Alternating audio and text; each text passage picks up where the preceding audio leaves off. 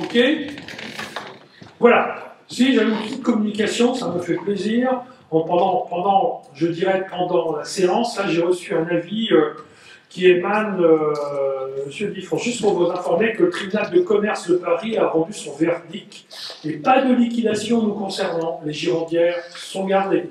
Tout le personnel est conservé, plus aucun risque pour les. Voilà, formation, je trouve qu'elle méritait quand même d'être. Thank you.